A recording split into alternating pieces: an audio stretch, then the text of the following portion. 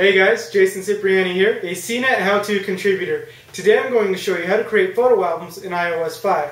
Now keep in mind this is a developer preview and things may change between now and the initial release this fall. If that happens, we'll be sure to update this video as well as this post. Now let's jump in and learn how to make a photo album. There's a couple different ways of creating a photo album on your device. First thing we'll need to do is go into our Photos app. And here we can tap on the Edit key up in the top right hand corner and then tap on Add.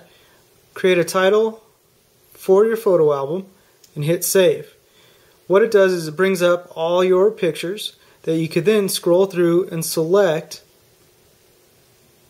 and once you've selected all the pictures that you want to put into your newly created album, you just tap on Done. You'll see a new album pop up with how many pictures you've just put into that album. Another way to do that is to go in and view your camera roll, tap in the top right hand corner where you would normally tap to share, copy, or delete pictures. Once you start tapping on pictures, you'll actually see down here at the bottom an Add To button become highlighted. Once you tap on that, you could either add to an existing album, which is the album we just created titled CNET, or we could create a new album. We'll tap on that and we'll just enter test for this album name.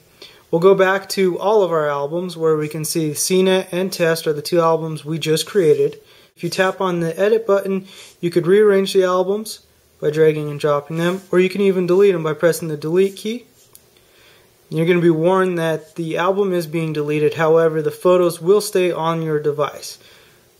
Alright, now we know how to make a photo album. For more fun tech tips, make sure to visit howto.cnet.com.